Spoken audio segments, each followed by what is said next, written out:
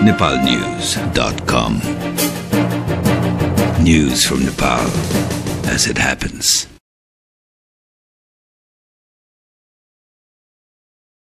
आज मिति दुई हजार सत्तरी साल असार चार गते मंगलबार काठमाडौँबाट प्रकाशित नेपाली राष्ट्रिय दैनिक पत्रिकाहरूको समाचार सार संक्षेपमा स्वागत छ। आज प्रकाशित दैनिक पत्रिकाहरूले मुलुकका विभिन्न भागमा परेको अविरल वर्षाका कारण धनजनको क्षति दार्चुला सदरमुकाम खलङ्गा खतरामा पर्यो राष्ट्रपति डाक्टर रामवरण यादव थप उपचारका लागि टोकियो प्रस्थान। उपचार उहाँको टोकियो स्थित क्यान्सर अस्पतालमा हुने।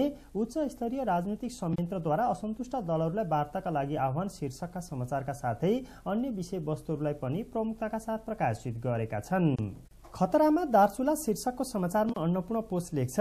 दुई दिनदेखिको अविरल वर्षाका कारण महाकाली नदीमा आएको भीषण बाढीले दार्चुला सदरमुकाम खलङ्गामा मात्र सर्वसाधारणको पैँतालिसवटा भन्दा बढी घर र नौवटा सरकारी कार्यालय बगाएको छ।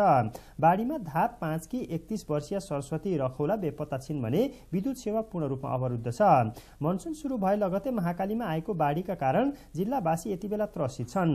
नदी कटान जारी रहेकाले खलङ्गाबाट स्थानीय विस्थापित हुने क्रम बढ्दो छ। जिल्ला प्रहरी कार्यालयका अनुसार खलङ्गा पाँचको बागा बगट र रिङ्गन तालमा तीस खलङ्गा दुई गल्फैमा छ घर बगेर नष्ट भएका छन्। त्यसै गरी बाढीले तितरसैन स्थित स्रोत केन्द्र भवन दार्चुला तिङ्कर सडकको बाँक बगट खण्ड बगाएको छ। ब्रह्मदेव गाविस स्थित त्रिपन्न किलोवाट क्षमताको कालागढ जलविद्युत आयोजनाको पावर हाउस समेत बगाएको छ। नदीमा पानीको बहाव तीव्र छ भने जल स्तर बढ्ने क्रममा रहेका कारण खलङ्गा स्थित बाघ बगड रिङ्गन्ने ताल तिङ्कर खेडा गल्फै खेट्या बगड नमस्कार धाप लाली दपु र उक्का तीन सय भन्दा बढी घर उच्च जोखिममा परेका छन्। बाढीले जिल्लाको अस्पतालको सबगृह वन कार्यालयको कर्मचारी आवास अपी नापा संरक्षण केन्द्र कार्यालय जिल्ला खेलकुद विकास समितिको भवन पनि बगाएको छ।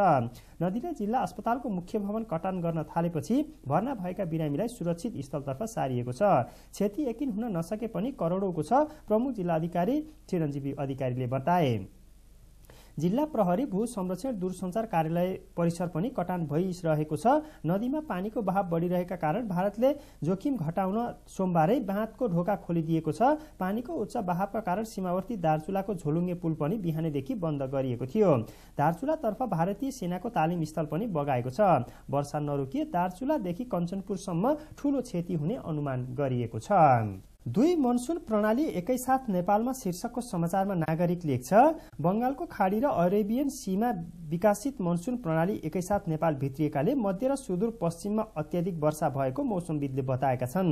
सामान्यतया मनसुनको थालनी पूर्वबाट हुन्छ तर अहिले पश्चिमबाट भएकाले भारी वर्षा भएको हो।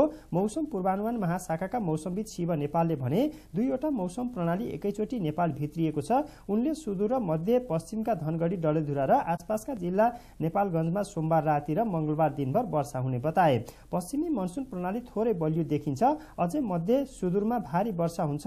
नेपालले भने पूर्व लगायत अन्य क्षेत्रमा त्यति वर्षा भएको देखिँदैन। सोही पत्रिकाले काङ्ग्रेस सभापति कोइरालालाई डेला सार्न तानातान शीर्षकको समाचारलाई पनि प्रमुखताका साथ प्रकाशित गरेको छ। राष्ट्रपति यादव उपचारका लागि जापान प्रस्थान। राष्ट्रपति यादवको टोकियोको नेसनल क्यान्सर सेन्टरमा उपचार हुने शीर्षकको समाचारमा नयाँ पत्रिका लेख्छ। राष्ट्रपति डाक्टर रामवरण यादवको उपचार जापानको टोकियो स्थित नेसनल क्यान्सर सेन्टरमा गरिने भएको छ। सो सेन्टर क्यान्सर रोगका लागि विश्वमै चर्चित अस्पतालमा पर्छ। नेपाल मेडिकल बोर्डका अध्यक्ष एवं वीर अस्पतालका निर्देशक डाक्टर बुलन्द थापाले टोकियो स्थित नेसनल क्यान्सर सेन्टरमा उपचार हुने सम्भावना रहेको बताए। थापाले भने नेसनल क्यान्सर सेन्टर धेरै राम्रो अस्पताल छ। मेरो विचारमा उहाँको उपचार त्यही हुन्छ। थापा अध्यक्ष रहेको मेडिकल बोर्डले नै राष्ट्रपतिको उपचार जापानमा गर्न सिफारिस गरेपछि सरकारले सम्पूर्ण खर्च बेहोर्ने निर्णय गरेको हो। उच्च स्तरीय राजनीतिक समिति बैठक वार्ताका लागि आह्वान शीर्षकको समाचारमा गोर्खापत्र लेख्छ आगामी मंगिर चार गतेका लागि तोकिएको संविधान सभाको दोस्रो निर्वाचन हर हालतमा सम्पन्न गर्ने निर्णय उच्च स्तरीय राजनीतिक समितिको बैठकले गरेको छ। नयाँ बानेश्वर स्थित समितिको सचिवालयमा सोमबार बसेको समितिको बैठकले त्यस्तो निर्णय गरेको हो। बैठकले आन्दोलनरत सबै राजनीतिक दललाई वार्ताका लागि आह्वान गर्दै संवाद र छलफलबाटै समस्याको समाधान खोज्ने निर्णय गरेको छ। आन्दोलनरत दलका मागबारे समितिले अधिकतम लचकता अपनाएर समस्याको समाधान खोज्ने टुङ्गोमा पुगेको छ। देश र जनतालाई प्रत्यक्ष अप्रत्यक्ष नकारात्मक असर पुर्याउने बन्द हडताल जस्ता कार्यक्रम नगर्न नगराउन सबै राजनीतिक दलका नेताहरूसँग बैठकले आग्रह गरेको छ। साथै राष्ट्रपति डाक्टर रामवरण यादवको शीघ्र स्वास्थ्य लाभको कामना पनि बैठकले गरेको छ। सोही पत्रिकाले निष्पक्ष चुनाव सम्पन्न गर्न सहयोग गर्ने प्रतिबद्धता शीर्षकको समाचारलाई पनि प्रमुखताका साथ प्रकाशित गरेको छ। पाँच डेरीका दूध उपभोगमा रोक शीर्षकको समाचारमा कान्तिपुर लेख्छ दिशामा पाइने जीवाणु कोलिफर्म भेटिएको भन्दै खाद्य तथा गुड नियन्त्रण विभागले उपत्यकाका पाँचवटा डेरी उद्योगका दूध उपभोगमा रोक लगाएको छ। तीमध्ये चारवटा भक्तपुरका र एक काठमाडौँका डेरी उद्योग रहेका छन्। विभागले उपत्यकाका तीनवटै जिल्लामा चौध डेरी नमुना संकलन गरी परीक्षण गर्दा दूधमा अत्याधिक कोलिफर्म पाइएका पाँच उद्योगका दूध उपभोग नगर्न सर्वसाधारणलाई आग्रह गरेको छ। सिलबन्दी गर्न जाँदा आक्रमण शीर्षकको समाचारमा सोही पत्रिका लेख्छ भक्तपुरको छालिङमा रहेको खरिपाटी डेरीमा सोमबार सिलबन्दी गर्न पुगेको सरकारी टोली र साथमा गएको संचारकर्मीमाथि सञ्चालक पक्षले आक्रमण गरेको छ। अवरोध पुर्याउँदै हातपात गर्ने मध्येका तीनजनालाई प्रहरीले नियन्त्रणमा लिएको छ। भक्तपुरका प्रमुख जिल्ला अधिकारी हिमनाथ दवाडीका अनुसार विश्वराम खड्का उद्धव खड्का र यज्ञ खड्कालाई पक्राउ गरिएको हो। डेरी सञ्चालकले आफ्ना समर्थक स्थानीयलाई समेत बोलाएर अवरोध पुर्याएको विभागले जनाएको छ। करोडौँ विज्ञापन गर्ने उच्च माविहरू सङ्कटमा पोहोरकै विज्ञापन रकम तिर्न सकेनन् शीर्षकको समाचारमा नेपाल समाचार पत्र लेख्छ गत वर्ष झण्डै आधा करोडभन्दा बढी विज्ञापन गरेका उच्च माविहरू सङ्कटग्रस्त अवस्थामा पुगेका छन्। छिटो चर्चामा आउने र सयौं विद्यार्थी बटुल्ने सपना बोकेका ती उच्च माविले मनपरी रूपमा विज्ञापन गरेपछि ती उच्च माविको अवस्था अत्यन्तै दयनीय बन्न थालेको छ। नाम चलेका कलेजले नक्कल गरेर तत्काल करोडौँ रुपियाँ कमाउन खोज्ने मनसाईले सञ्चालन गरेका ती उच्च माविले गत वर्षको विज्ञापन रकम तिर्न नसकेर डुब्ने अवस्थामा पुगेका छन्। विज्ञापन छापे बापत एसएनजिसीलाई लाखौं रुपियाँ तिर्न नसकेपछि चर्चामा आएका दुई उच्च माविलाई यो वर्ष सञ्चालन हुने मुस्किल परेको छ। सुविधानगरमा रहेको वर्षा उच्च मावि व्हाइट गोल्ड सञ्चालन गर्न मुस्किल परेको छ। त्यस्तै सौर्य उच्च मावि आइएसएमटी कलेजले विज्ञापन एजेन्सीलाई रकम तिर्न नसकेपछि उनीहरूलाई यो वर्ष सञ्चालन गर्न मुस्किल पर्ने भएको छ।